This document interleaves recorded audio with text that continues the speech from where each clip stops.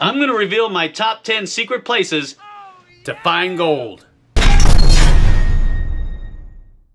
Coming in at number one is garage sales and yard sales. Now I know that sounds like a no-brainer, but you can find a lot of gold and silver at garage sales, estate sales, and yard sales. When you're checking the rings, look for the inside right of the ring for the carat. If you're looking on necklaces, look on the clasp. Usually you'll see what the carat weight is. If you see a number like 750, that usually means it's 18 karat. It's referred to as a hallmark number. These are the hallmark numbers that are associated with the carats so that you can understand how much gold is in there. If you're selling your gold, this is the refinery that we go through. They pay 95% spot on 24 karat gold. I strongly recommend that you get a rare earth jewelry test magnet to test your jewelry when you're at these yard sales. I would also recommend getting yourself a jeweler's loupe so you can inspect it for the markings for carat weight. We would also recommend getting yourself an acid test kit. That way you can be sure of the purity of the gold that you're purchasing at these garage sales. Now, number two on my list is old ball mills and stamp mills. You'd be amazed at how many of these things have never been cleaned out. And a lot of the heavy metals, like gold and silver, are going to be trapped down in the armor plating of the ball mills, or they're going to be down in the bottom of the mortar boxes of the stamp mills. This is a good example of a batch mill. And I've seen these run a lot in artisanal mines in South America and Africa. You have this small opening here and a plate that goes over it. You charge it with a load of ore and you can also put your balls in there too. Run it around for a couple hours, turn it upside down. You have a mesh here to catch the balls and then all your powdered ore, which is mixed with water, comes out the bottom. Then you'd run that across a shaker table. You see how you have to go in steps. The neat thing about this one is it's it was made in Nevada Iron Works or Engineering Works. See that? And these little guys right here, those are the dies and those are the shoes. See that? And the ore comes in from the back and there's always a screen here. That's what these are for right here. The screen would lock into place and the ore couldn't come out of there until it was pounded to a pulp. When you find these old ball mills or stamp mills, go ahead and pull the armor plates out of the ball mills. I know it's gonna be a hard job to do because a lot of the bolts on the outside are rusted shut, but a lot of your gold, your free mill gold is gonna be trapped in between those plates and you're not gonna be able to fish it out until you take those plates out. Now, as far as the stamp mill goes, you be careful with those stamps. I've seen many men stick their hand in there trying to fish out some large pieces of flattened gold only to have their hand flattened by 1500 pounds of force and then later have to have it amputated because a lot of those stamps are just waiting to drop. Number three on my list is beaches and coastal areas. Now, believe it or not, there's a lot of superfine gold that can be found on these beaches and coastal areas. Places like this. Most of the gold that you find on Gold Beach in southern Oregon is derived from the Rogue River, which passes right through the area and then flows into the Pacific Ocean. The best place to look for gold along Gold Beach is south of Coos Bay. Another great place to look for placer gold along beaches is Lake Superior. Areas that are known for higher than average concentrations of placer gold along the shores of Baraga, Marquette, and Algera counties. You'll always have a good chance of finding some placer gold there. Now, a channel that we really like that's really good about recovering flour gold on coastal beaches is a channel called Flour Gold Wizards. I'm going to go ahead and leave a link down below, and I think you'd learn a lot just by watching them. Coming in at number four is outwash zones of terminal moraines and glacial till. And if you live in places like Ohio, you know exactly what I'm talking about. During the various ice ages that occurred throughout the history of our planet, glaciers grew and moved over the landscape. They scraped across the earth, breaking apart rocks and topsoil, some of which contain gold and other important minerals that are carried along for the distance. Some gold moved hundreds, if not thousands, of miles from its original source, which was usually Canada. When the glaciers finally did melt, they left behind huge piles of boulders, rocks, and debris that contained gold and other important minerals. Now, keep in mind that this gold is going to be extremely fine from the constant grinding and pounding that it was subjected to while it was being transported by glaciers. The best way to hunt for this type of gold is to find a glacial map of your state and prospect the creeks and rivers that, that cut through the outwash of the terminal moraines.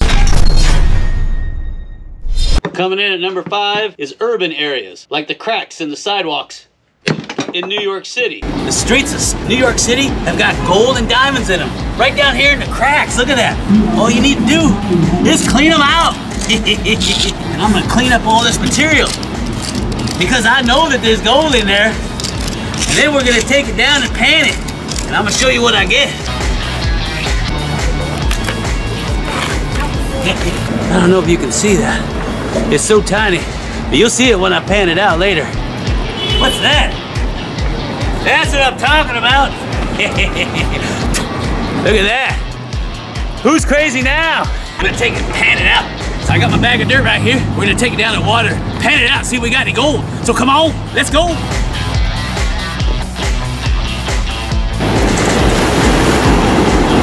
Yeah, all right, that's material.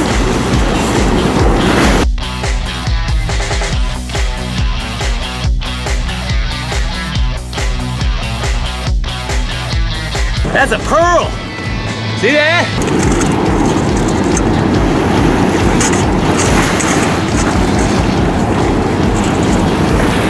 There's a big piece right there. There's a little piece of gold right there, see that?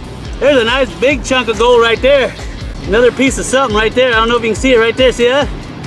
I'm gonna go through it and I'll put up a snapshot of it.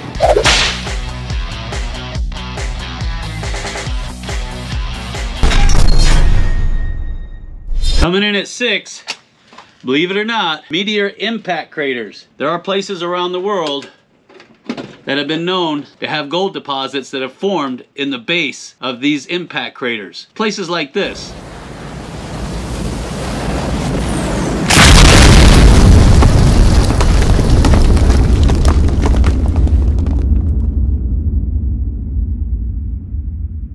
The Sudbury Basin impact structure is the third largest known impact crater on Earth. As a result of the metal deposits, the Sudbury area is one of the world's major mining communities, and the basin is one of the world's largest suppliers of nickel and copper ores. But that impact pales in comparison to our next impact crater.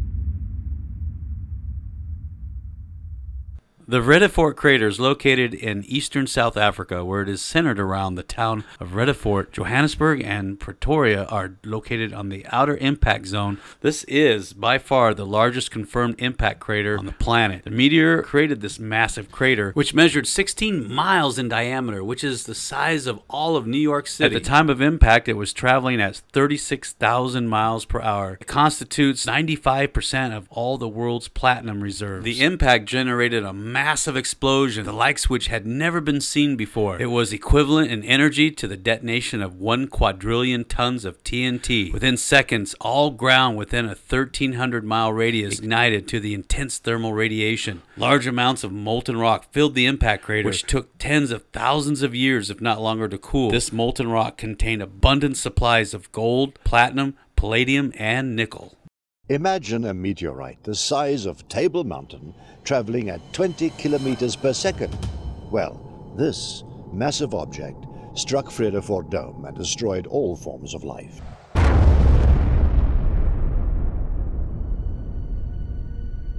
The impact, or first phase, created a massive dent in the Earth. The second phase was an immediate rebound that brought the deepest rock layers to the surface. Lastly, erosion set in, and over millions of years, many crater-like features had been weathered away. Meteorite impact structures are complex, and they're made up of concentric rings. The same rippling effect is seen when one drops an object into water. The inner crater caused by the impact was roughly 100 kilometers in diameter.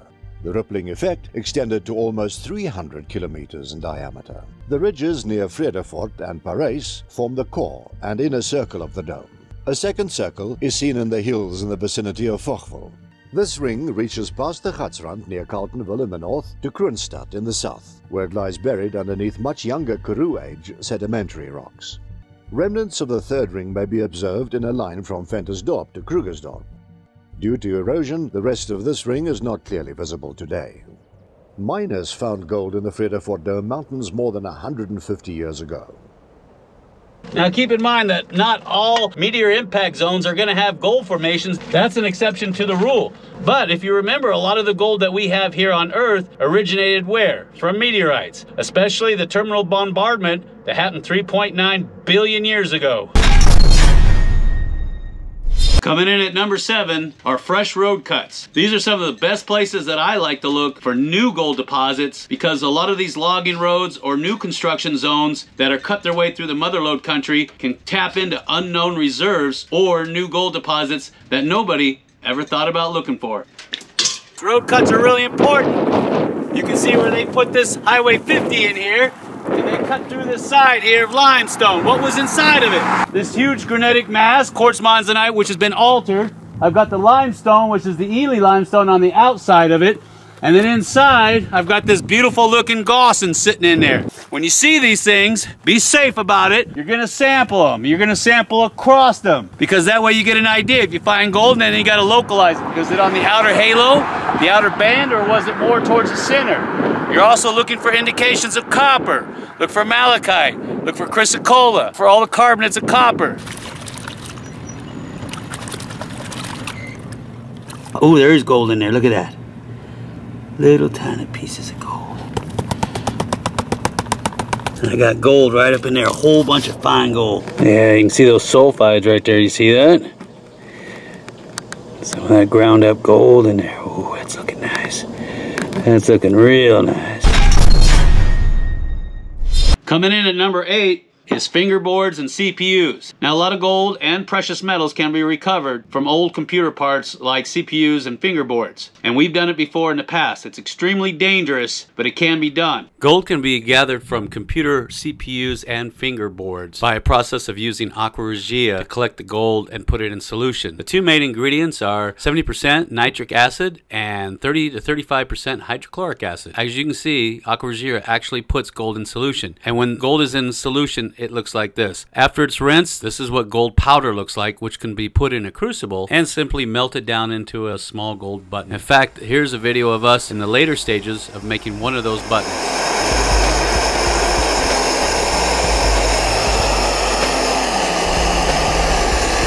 I can get this out of there without marking it up too bad.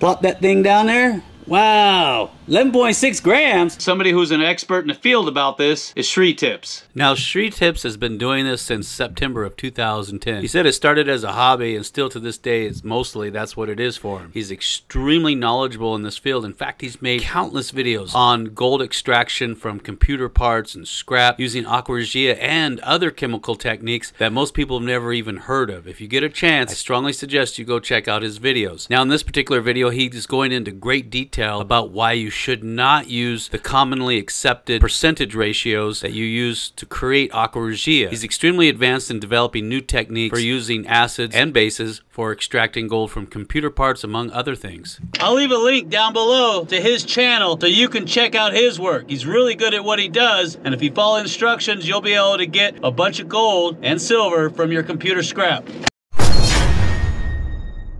Coming in at number nine, it's one of my favorites, culvert pipes. The corrugated metal pipes that run underneath streets, especially if you live in the mother lode country or near gold producing mining districts. We have made many videos in the past about this, and this is a perfect place to find gold. And some guys even put their own sluice boxes in these drainage pipes, and then they weld gates on the outside to keep people out.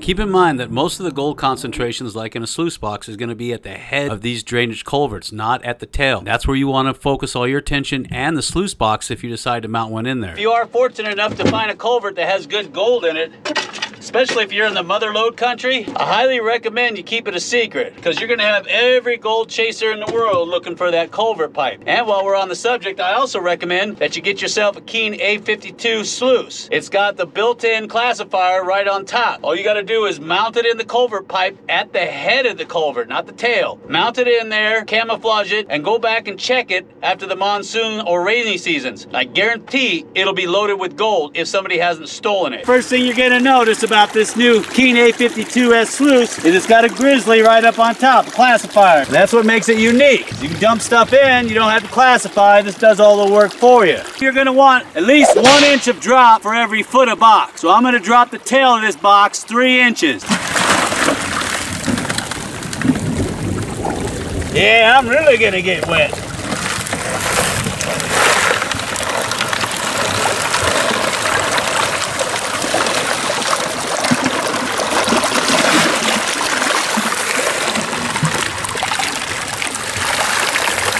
If I can tap that up to the top for you.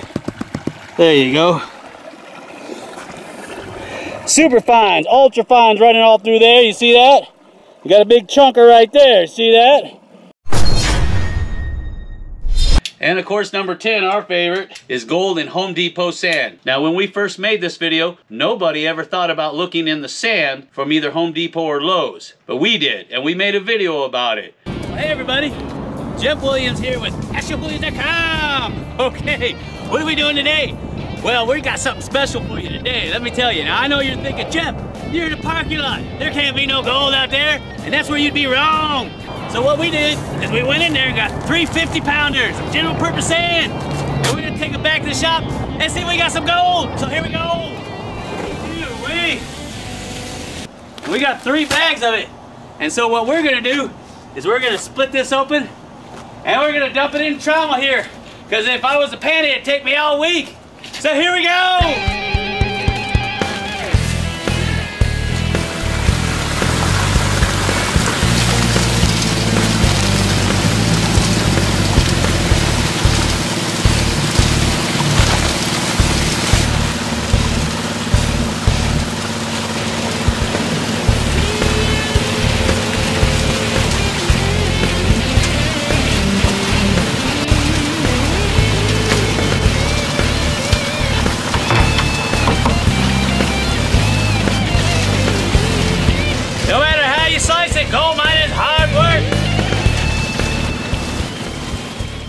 Now remember, when you're working a trommel and you're doing a cleanup, you make sure you scrub everything down into that cleanup bucket. Because you don't want no gold, get away. Get away. Okay, so we got all the concentrates in this bucket right here. Now, one more thing I gotta tell you is old Buzzard, or George Massey, said that the bags that dirt he was getting came directly from California. Some of the sand plants they got out there. And we checked with these bags, but they don't have any tag on them. So we asked the general manager, and he didn't know either. So we're gonna find out real quick like.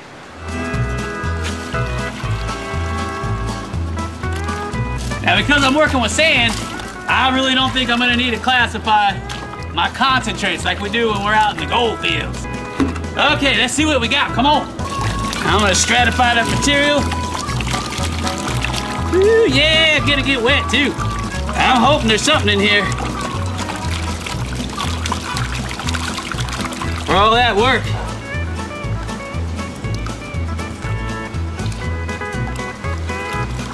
If there is, I'm sure it's really fine. But it would be nice to get a nug nugget coming out of there. Ooh, see that black sand in there? See all that? Ooh, I'm getting excited. I don't know about you. Come on, nugget. I'm gonna gently pan that just in case there's any fines in there.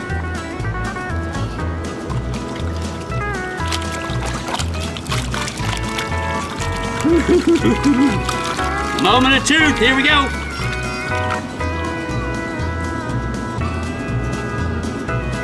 Okay, that's about as far down as I want to get. Okay, come here, take a look at this.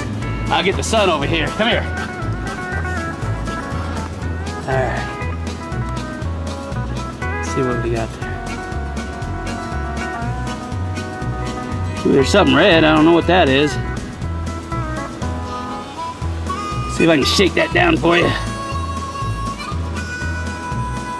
Well, there's a little bit of gold. What do you know? Old George wasn't kidding. Woo, look at that. I don't know if you can see it. There's a nice flake right there.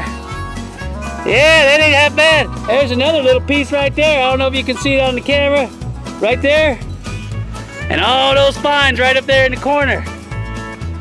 Woo wee, let me get my, my jeweler's loupe so we can take a look at that. Oh yeah, look at that.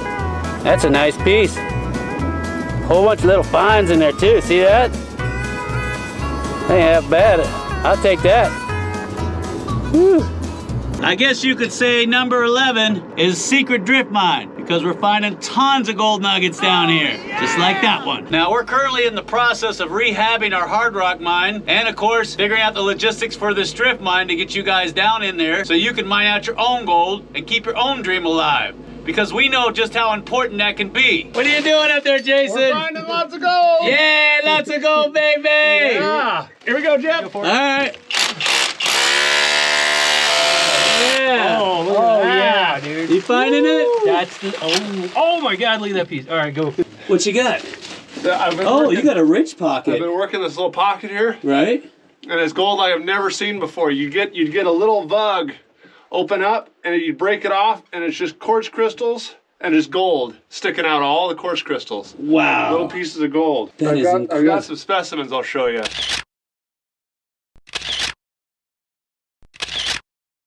It's just I've I've never seen anything like it. It's Wow. just it's unbelievably rich. Just this little pocket right here.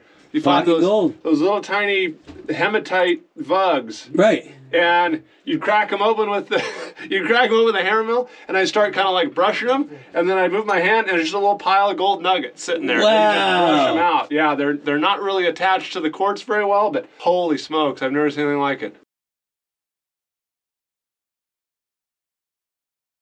Now I know you got the fever as bad as I do, if not worse, or else you wouldn't be sitting there watching me sweat to the oldies all day long digging out them gold nuggets. And if you're not already signed up as a premium patron, it's the perfect place for like-minded people who want to find that shiny where they share their experiences on finding that gold. And we all benefit from that. And not only that, they get gold from this gold mine, they get specimen gold, they got exclusive access to Slim's merchandise store, and of course they qualify to come out on our three-day gold mining tours, Placer and Hard Rock, where they're finding fistfuls of nuggets on our legendary world-class claims. You know, the stuff that dreams are made of.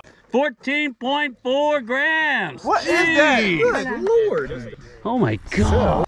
24.3 grams. Look at the size of them nuggets. Okay. Oh, big old ugly nuggets. Uh, Mm-mm-mm. Tic Tacs don't count. Oh my gosh, what the heck is that? Just think that could be you out there finding gold, making history. Ooh, I'm getting all excited just looking at all those gold nuggets out there. Now, if you're up to the challenge and you want to do something that most people can only dream about, you can get started just by looking for this icon at the end of the video. Just click on it, become a premium patron, and get ready for your chance to get them fistfuls of gold. Now, if you like geeking out over rocks like I do, you're gonna love all the videos that we put together on geology and gold deposition. I put it in simple terms so anybody can understand it and get out there and find their own gold deposits. And of course, don't forget to smash that like button, smash it hard, and we'll see you on the next video.